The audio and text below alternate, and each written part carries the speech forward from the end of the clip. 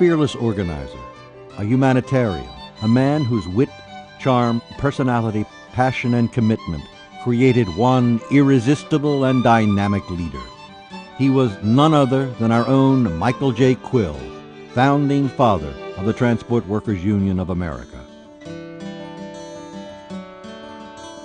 An Irishman to the core, Mike Quill was born in Kilgarvan on September 18, 1905. He was raised in turbulent times, nurtured by the Irish Revolt and a fighter in Ireland's tragic Civil War. He was a born leader, staging his first sit-in strike as a young man at the Kenmare sawmill. For his efforts, Quill was blacklisted as both a defeated Republican fighter and a sacked industrial activist. Penniless, he headed for America, where life for Quill and for transport workers would soon be changed forever. Quill found work on the independent subway line in New York City among thousands of immigrant Irishmen. Together they endured appalling working conditions, long hours, and low pay.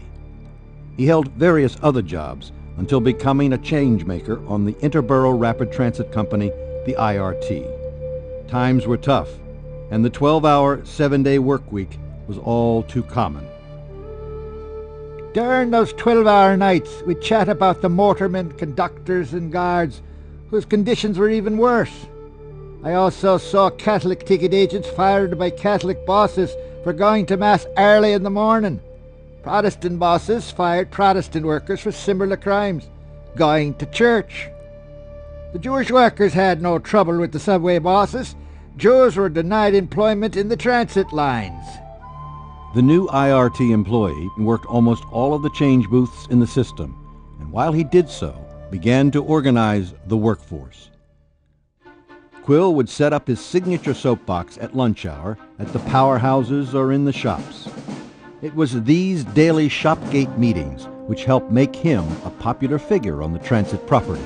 We were no experts in the field of labour organisation, but we had something in common with our fellow workers. We were all poor. We were all overworked. We're all victims of the 84 hour week.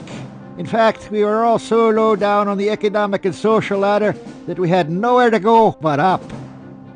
Quill's efforts paid off as the Transport Workers Union held its first meeting in April 1934. No one was lukewarm to Mike Quill. Workers loved him. Management hated and feared him. Like him or not, no one could dispute his ability to organize. Beginning with just 400 members, Quill fought successfully to organize and represent all 14,000 employed by the IRT. In the next largest subway company, the Brooklyn Manhattan Transit BMT line, a successful sit-down strike in 37 led to more victories and brought the total union membership to 45,000. By now, Quill's political influence was also taking shape. Fully aware of the power of both organizing and politics, Quill was elected to the New York City Council in 1937. Word of Quill's organizing success quickly spread, and in the mid to late 40s, membership was extended to airline, utility, and railroad workers. From the earliest days of the Union, Quill insisted that TWU stand up for all workers, regardless of race, color, or creed. And he himself led the way. Most of my life I've been called a lunatic because I believe that I'm my brother's keeper. I organize poor and exploited workers, I fight for civil rights of minorities, and I believe in peace. This is my religion.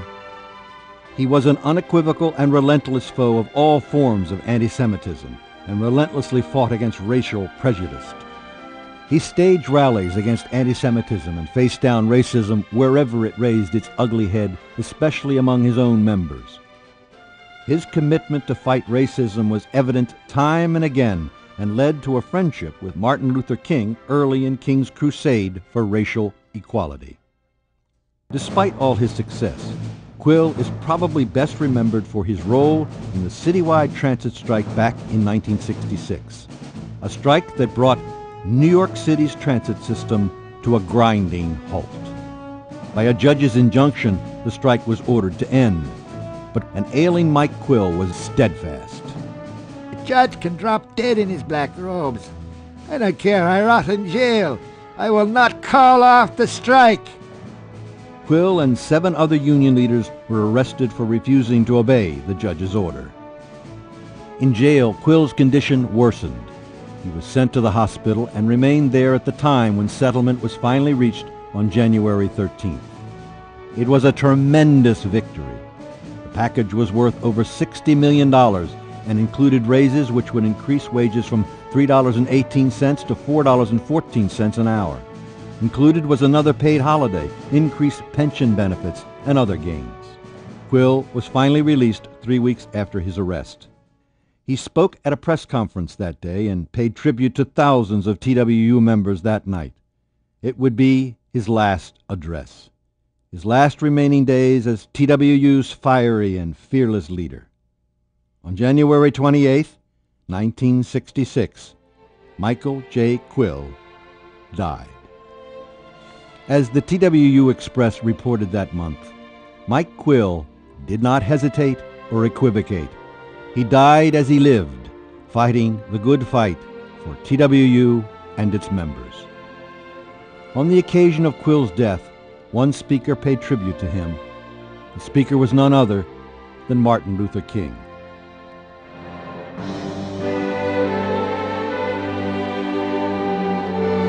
For all ages, for all time, we will never forget our founder, the fearless fighter, a true believer in our union and in all mankind.